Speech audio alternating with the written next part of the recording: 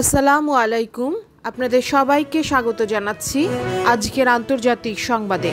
আপনাদের সাথে আছি আমি ফারজানা মুস্তফা। শুরুতেই সংবাদ শিরোনাম। বিস্ফোরণে কেঁপে উঠল সৌদি রাজধানী রিয়াদ। এরদোগানকে ক্ষমতা থেকে সরাতে জীবন দিতে রাজি। ইরানের বিরুদ্ধে অভিযান পরিকল্পনা নবায়ন হচ্ছে, বলল ইসরায়েলি সেনাপ্রধান। পুতিনের সঙ্গে ফোনালাপ কঠোর অবস্থানের আভাস বাইডেনের। কেনিয়াকে একশো আঠারো সামরিক যান দিচ্ছে তুরস্ক। শুরুতেই মধ্যপ্রাচ্য প্রসঙ্গ। ব্যাপক এক বিস্ফোরণের শব্দে কেঁপে উঠেছে সৌদি আরবের রাজধানী রিয়াদ। স্থানীয় সময় দুপুর বারোটা বাহান্ন মিনিটের দিকে এ বিস্ফোরণে বহু জানালার কাঁচ ভেঙে পড়ে। সামাজিক যোগাযোগ মাধ্যমে অনেকে দুটি বিস্ফোরণের শব্দ শোনার কথা জানিয়েছেন। বিস্ফোরণের পর ধোঁয়ার কুণ্ডলি আকাশের দিকে উড়ে যেতে দেখা গেছে। তবে এতে হতাহতের কোনো খবর পাওয়া যায়নি। ইয়েমেন যুদ্ধে দু হাজার পনেরো সালে হস্তক্ষেপের পর থেকে প্রায়ই প্রতিবেশী দেশটির দিক থেকে আসা বিভিন্ন ক্ষেপণাস্ত্র ও ড্রোন হামলা মোকাবেলা করে আসছে সৌদি আরব। ইয়েমেনের ইরান সমর্থিত হুতি বিদ্রোহীরা এসব হামলা চালায় বলে দাবি করে রিয়াদ। গত শনিবারও একটি ক্ষেপণাস্ত্র হামলা প্রতিহত করার দাবি করে সৌদি আরব। ইয়েমেন সরকারের পক্ষ নিয়ে যুদ্ধে জড়ানো সৌদি নেতৃত্বাধীন জোটের পক্ষ থেকে বলা হয়, রিয়াদের দিকে আসতে থাকা একটি রকেট প্রতিহত করা হয়েছে। তবে হুতি বিদ্রোহীদের দাবি, এর সঙ্গে তাদের কোনো সংশ্লিষ্টতা নেই।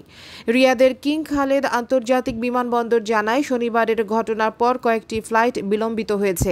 উল্লেখ্য দু হাজার পনেরো সালে ইয়েমেনের প্রেসিডেন্ট মনসুর হাদিকে উচ্ছেদ করে রাজধানী সানা দখলে নেয় দেশটির ইরান সমর্থিত শিয়াপন্থী হুতি বিদ্রোহীরা। সৌদি আরবের রাজধানী রিয়াদে আশ্রয় নিতে বাধ্য হন ক্ষমতাচ্যুত হাদি। হুথি ক্ষমতা দখলের পর থেকে হাদির অনুগত সেনাবাহিনীর একাংশ তাদের বিরুদ্ধে যুদ্ধ শুরু করে। হুথি বিদ্রোহীদের বিরুদ্ধে অপারেশন ডিভাইসিভ স্টর্ম নামের সামরিক আগ্রাসন শুরু করে সৌদি আরবের সামরিক জোট। দুর্ভিক্ষের দ্বার প্রান্তে পৌঁছায় ইয়েমেন। স্কুল, বাজার, হাসপাতাল, জানাজার, নামাজ সহ বিভিন্ন স্থানে সৌদি জোটের বিমান হামলায় নিহত হন লক্ষাধিক বেসামরিক মানুষ। অন্যদিকে ইসরায়েলি শীর্ষ জেনারেল বলেছেন, ইরানের বিরুদ্ধে অভিযান পরিচালনা পরিকল্পনা নবায়ন করা হচ্ছে। আর দু হাজার পনেরো সালে বিশ্বশক্তিগুলোর সঙ্গে হওয়া পরমাণু চুক্তিতে যুক্তরাষ্ট্রের ফিরে যাওয়া হবে ভুল সিদ্ধান্ত। ইরানের সঙ্গে যে কোনো কূটনৈতিক অঙ্গীকারের পথে সতর্কতার সঙ্গে এগিয়ে যাওয়ার ক্ষেত্রে মার্কিন প্রেসিডেন্ট জো বাইডেন পরিষ্কার আভাসের পরেই ইসরায়েলি সেনাপ্রধানের এমন মন্তব্য এসেছে। মার্কিন নীতি নির্ধারণের ওপর ইসরায়েলি সশস্ত্র বাহিনীর প্রধানের মন্তব্য একেবারেই বিরল। এতে ইসরায়েলি সরকারের পূর্ব সমর্থন রয়েছে বলেই ধরে নেওয়া হচ্ছে। Tel Aviv universities institute for national security স্টাডিজে দেয়া বক্তব্যে লেফটেন্যান্ট জেনারেল আবিব কোহাবি বলেন, ইরানের সঙ্গে চুক্তিতে ফিরে যাওয়া কিংবা কয়েকটি ক্ষেত্রে উন্নতি সহ একই ধরনের চুক্তি করলে তা হবে কৌশলগত ও পরিচালন দৃষ্টিভঙ্গি থেকে খারাপ এবং ভুল। দু হাজার আঠারো সালে ওই চুক্তি থেকে সরে আসার ঘোষণা দিয়েছেন বাইডেনের পূর্বসূরি ডোনাল্ড ট্রাম্প। ইসরায়েলি প্রধানমন্ত্রী বেনিয়ামি নেতানিয়াহু ওই চুক্তি থেকে সরে আসাকে স্বাগত জানিয়েছেন। চুক্তিতে ফিরে যাওয়া হবে কিনা সেই সিদ্ধান্ত নিতে যুক্তরাষ্ট্র এখনও অনেক দূরে রয়েছে বলে নিশ্চিত করেছেন বাইডেনের মনোনীত পররাষ্ট্রমন্ত্রী অ্যান্থনি ব্লিংকেন। গত সপ্তাহে তিনি বলেন, চুক্তি মেনে চলার ক্ষেত্রে ইরান সত্যিকার অর্থে কি করে তাও দেখার বিষয় রয়েছে। ওয়াশিংটন চুক্তি থেকে সরে যাওয়ার পর ইরানও ইউরেনিয়াম সমৃদ্ধকরণের ক্ষেত্রে তার বিধি নিষেধ থেকে সরে এসেছে। স্বল্প সমৃদ্ধ ইউরেনিয়ামের মজুদ গড়ে তুলেছে। এছাড়া উচ্চমাত্রায় বিশুদ্ধ ইউরেনিয়ামেরও সমৃদ্ধকরণ ও সেন্ট্রিফিউজ স্থাপন করছে, যা চুক্তিতে নিষিদ্ধ। ইসরায়েলি সেনাপ্রধান বলেন, ইরানের এই পদক্ষেপ শেষ পর্যন্ত এটি বলে দিচ্ছে, তারা দ্রুত গতিতে পারমাণবিক অস্ত্র নির্মাণের দিকে এগোচ্ছে। এই মৌলিক বিশ্লেষণের আলোকে ইসরায়েলি প্রতিরক্ষা বাহিনীকে আমি বেশ কিছু প্রতিরক্ষা পরিকল্পনা প্রস্তুতের নির্দেশ দিয়েছি। আগে যে প্রস্তুতি আছে, তার সঙ্গে নতুন এসব যুক্ত হবে। তিনি আরও বলেন, তবে এসব সিদ্ধান্ত বাস্তবায়নের দায়িত্ব অবশ্যই রাজনৈতিক নেতৃবৃন্দের। কিন্তু এসব পরিকল্পনা আলোচনার টেবিলে থাকা দরকার। ইরান বরাবরের মতো পরমাণু অস্ত্র নির্মাণের অভিযোগ অস্বীকার করে আসছে। এদিকে কেনিয়াকে একশো আঠারো সামরিক যান দিচ্ছে তুরস্ক। সন্ত্রাসবাদ দমনে কেনিয়া একশো আঠারো সামরিক যান কিনছে তুরস্কের কাছ থেকে। দেশটির সামরিক সূত্র জানিয়েছে, সাত কোটি মার্কিন ডলার ব্যয়ে এসব সামরিক যান পাচ্ছে আফ্রিকার এই দেশটি। কেনিয়ার পররাষ্ট্র মন্ত্রণালয়ের মুখপাত্র জিপরাহ কিকো গণমাধ্যমকে জানায়, সোমালিয়ায় আশবাব জঙ্গিদের দমনে তাদের সেনাবাহিনীর বেশ বেগ পেতে হচ্ছে। এ কারণে তুরস্ক থেকে শতাধিক সামরিক যান কিনছেন তারা।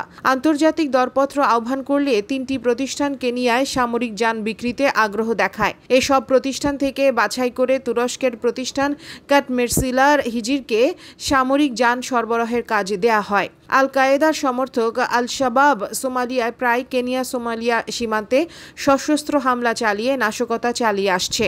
নির্বাচনে তুরস্কের প্রেসিডেন্ট রেসেপ তাইব এরদোগানের পরাজয় ও তাকে ক্ষমতা থেকে সরিয়ে দেওয়ার বিনিময়ে নিজের জীবন উৎসর্গ করতে রাজি আছেন বলে জানিয়েছেন দেশটির বিরোধী দলীয় সাবেক এই নেতা।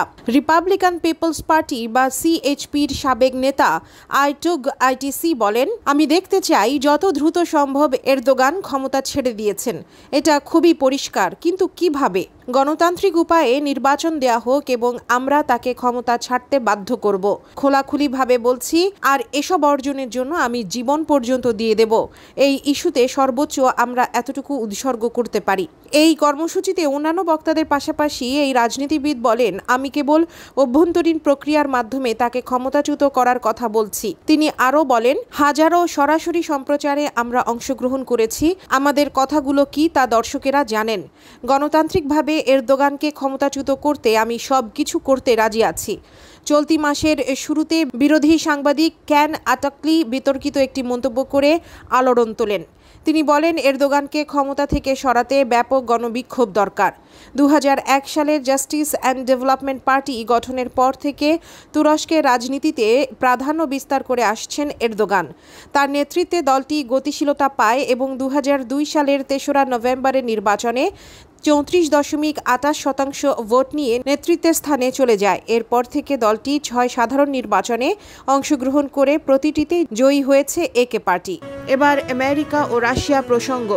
মার্কিন প্রেসিডেন্ট হিসেবে শপথ নেওয়ার পর রুশ প্রেসিডেন্ট ভ্লাদিমির পুতিনের সঙ্গে প্রথমবারের মতো ফোন আলাপ করেছেন জো বাইডেন। এতে রাশিয়ার বিরুদ্ধে কঠোর অবস্থানের আভাস দিয়েছেন তিনি।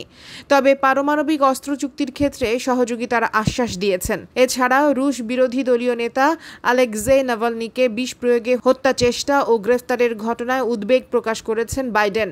হোয়াইট হাউসের বরাতে গার্ডিয়ান ও বার্তা সংস্থা এএফপি এমন খবর দিয়েছে। মোতায়েন করা পরমাণু ওভারহেডের সংখ্যা কমিয়ে অস্ত্র নিয়ন্ত্রণ চুক্তির মেয়াদ আরও বাড়াতে রাজি হয়েছে যুক্তরাষ্ট্র ও রাশিয়া। একই সময়ে রুশ বিরোধী দলীয় নেতা আলেকজেই নাভালনিকে গ্রেফতার ও বিষ প্রয়োগ নিয়ে নিজের কঠোর অবস্থানের কথা জানিয়েছেন বাইডেন। যদিও তার পূর্বসূরি ডোনাল্ড ট্রাম্প বিষয়টি পুরোপুরি এড়িয়ে গিয়েছিলেন। এছাড়া রুশ আগ্রাসনের মুখে ইউক্রেনের সার্বভৌমত্বে জোরালো সমর্থনের কথা ব্যক্ত করেন বাইডেন। মার্কিন নির্বাচনে রাশিয়ার হস্তক্ষেপ ও যুক্তরাষ্ট্রের বিভিন্ন সংস্থাকে নিশানা করে গত বছরের সোলার উইন্ড সাইবার হামলাও তাদের আলোচনায় উঠে আসে। রাশিয়া এই হামলার জন্য দায়ী বলে মার্কিন গোয়েন্দা প্রতিবেদন বলছে। মার্কিন সেনাদের হত্যার বিনিময়ে তালেবান ও অন্যান্য উগ্রপন্থীদের রাশিয়া অর্থের প্রস্তাব দেয়া নিয়ে যুক্তরাষ্ট্রের গোয়েন্দা সংস্থা প্রতিবেদন নিয়ে পুতিনকে চ্যালেঞ্জ জানিয়েছেন বাইডেন।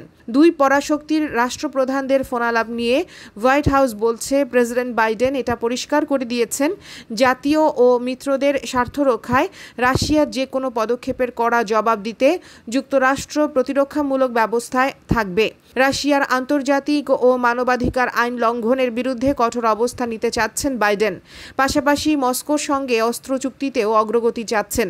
ট্রাম্পের অধীনে যা একেবারে ভেঙে পড়েছিল। ক্রেমলিন বলছে, আলোচনায় বাইডেন ও পুতিন সন্তোষ প্রকাশ করেছেন। পরবর্তীতে পরমাণু চুক্তির মেয়াদ পাঁচ বছর বাড়াতে পার্লামেন্টে একটি বিল উত্থাপন করেছেন রুশ নেতা। ডিয়ার ভিউয়ার্স আমাদের চ্যানেলের নিউজটি যদি আপনাদের ভালো লেগে থাকে, তবে আমাদের চ্যানেলকে সাবস্ক্রাইব করুন এবং আপনাদের বন্ধুদেরকেও সাবস্ক্রাইব করতে উৎসাহী করুন। নতুন নতুন নিউজ জানার জন্য আমাদের চ্যানেলের সাথেই থাকুন। ধন্যবাদ।